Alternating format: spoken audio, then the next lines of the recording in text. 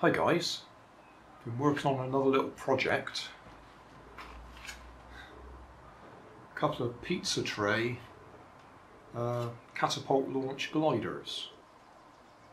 People who've looked at my pizza trays before, when we've used these ones that have got the dimples on one side, have often asked which is the best way to have the dimples, on the top or on the bottom. So what I'm trying to do is make these two as identical as possible. They're the same weight, same design. The only difference is one's got the dimples on the top and one's got the dimples on the bottom. So I'm just trying to test glide them at the moment across the garden. I can't actually catapult launch them here because I'd like to think they'll go too far. So I just want to see if we can get a fairly level glide. And then if we get another suitable day, we'll try them out outdoors or in a field or something.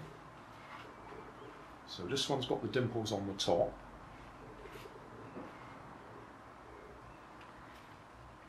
And this one's got the dimples on the bottom.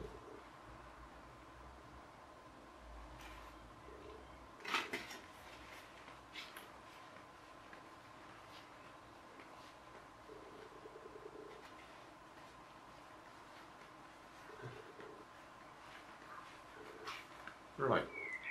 Well, they didn't do that when I did a test through before I started filming. Um, so I'll just do that again. Uh, dimples on the bottom.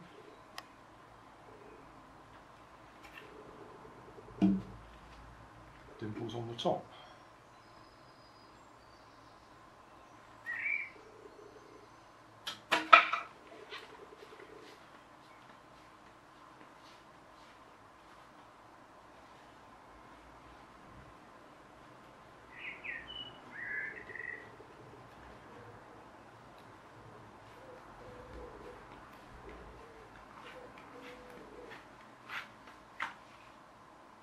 Doesn't seem to be any really big difference.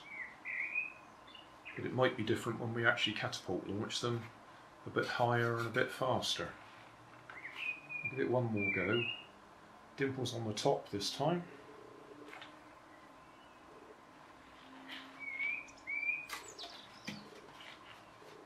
Dimples on the bottom.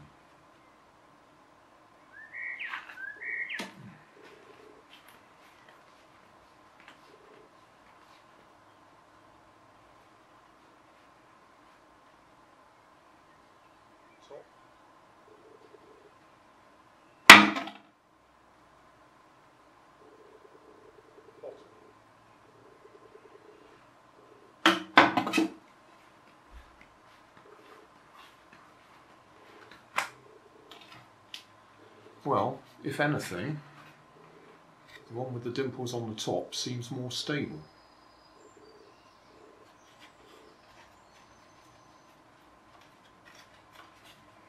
both got little dents in them now, which I don't want to do before we do proper flight tests. So I'm tempted to put a fin on the back. I think we'll leave that. We'll just try them as they are oh, outdoors somewhere.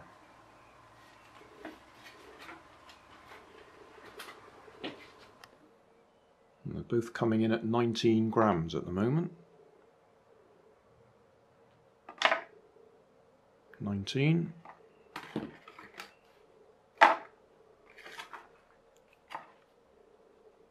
Nineteen. So they're the same weight, the same design. That one's got dimples on top. That one's got dimples on the bottom. Hey, thanks for watching. There's plenty of videos on my main channel with more added daily, so don't forget to subscribe and enable the notifications to keep you up to date with my new releases.